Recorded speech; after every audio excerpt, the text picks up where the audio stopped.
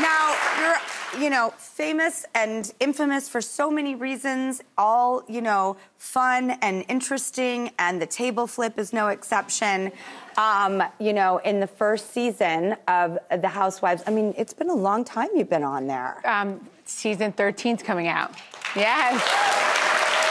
Okay, so what is like one of the favorite things that's ever happened to you from your life changing from being a housewife?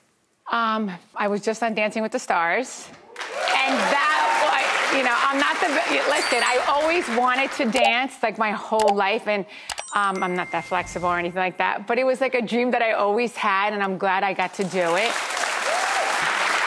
So that was like a big fulfillment. Um, being a four times New York Times bestselling author.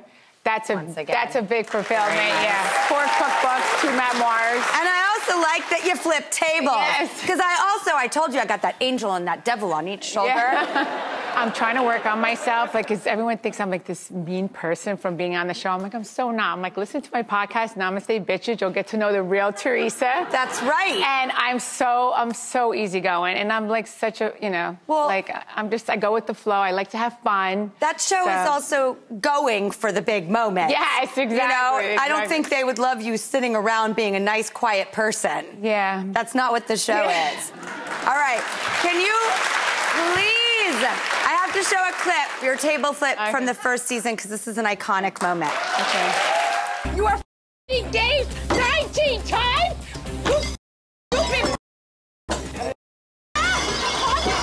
Coming to my trap!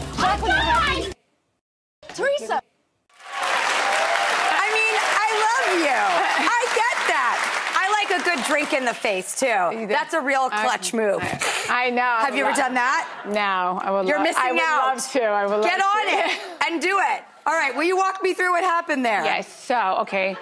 Well, um, think about something that makes you really, really angry. Like, you know, if your boyfriend cheated on you, or um, like if a, if a girlfriend betrayed you. Ooh. Yeah, something like that. Because she was like going after my girlfriend, so I was sticking up for my girlfriend. Oh yeah. Oh so God. I'm a girl's girl. Oh. Yeah. So just think about something that makes you really angry, and then grab the table. Okay. Right, and hold on to it. Yeah. And then right at the count of three. All right, ready? ready? One, One, two, two, three. You, you were engaged 19 times,